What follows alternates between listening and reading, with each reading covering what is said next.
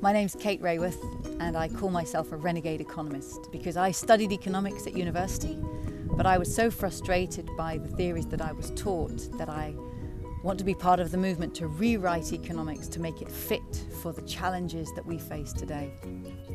So, I believe we need a new picture of prosperity, of what human well being looks like in the 21st century. And I can define it so simply for you in two little objects. On the one hand, the being. We all need food, uh, housing, healthcare, education, the basic sustenance of life that every human being needs to live well. But we also need this little blue marble, our planetary home. We need a stable climate, fertile soils, healthy oceans, a protective ozone layer. So human well-being depends upon meeting the needs of all, but doing so within the means of the planet. And if I was to draw that for you as a picture, crazy though it sounds, it would look a bit like a donut, a rosquinha, with a hole in the middle. So the hole in the middle is a place where people are falling short on the essentials of life. They don't have enough food, healthcare, education, housing. We want to get everybody out of the hole. But we can't overshoot the outer limits of this donut either, because there we put so much pressure on this extraordinary living planet that we begin to kick it out of balance. We cause climate breakdown, acidify the oceans, a hole in the ozone layer. And so the challenge is to meet the needs of all, get everybody out of the hole without overshooting the edge. Everybody in that donut ring itself. To me, this is a compass for human prosperity in the 21st century. All of the ideas that we use to understand the world, whether in economics or politics or sociology, are framed through a certain lens of how we see and what we see. We create these frames with our words, with our pictures. And it's really powerful when you realize that the ideas you're experiencing have been framed and maybe you don't agree with that frame.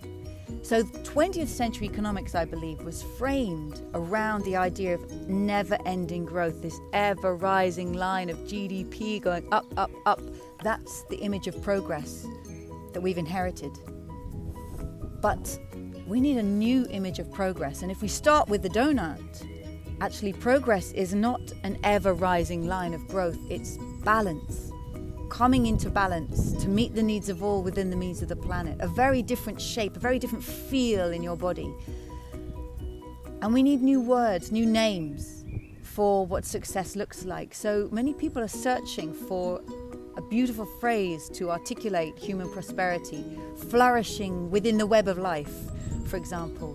When we name things, we give them a presence that they didn't have before.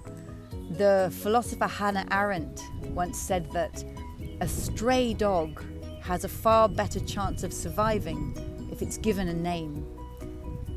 And I think we can realize that unnamed ideas and unnamed beauties and important values in the world risk being lost. So we must name them and point them out and draw them and talk about them and feel them and perform them to make them visible to ourselves so that we can put them at the heart of new frames for the 21st century. We are in the middle of a most incredible transformation of ideas, of reframing the way that we, humanity, understand the beautiful living planet on which we depend and our deep interdependence with it. So we're all searching for new words and images and ideas and stories that make this new picture clear to ourselves. And everybody has a role in that, in the language we use, the pictures we draw, or the pictures we teach, the way we challenge our professors about what they're teaching and the images they're showing and the assumptions hidden in that language. But also in our daily lives, we have a role in bringing about this new world. Uh, economics tells us we're either a consumer or labor, working or shopping.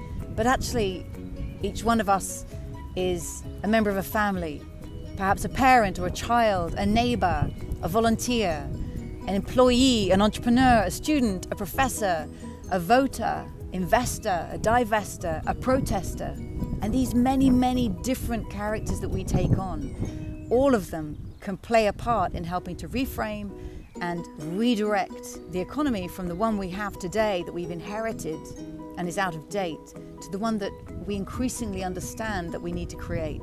If we more than 10 billion humans are going to thrive here together this century.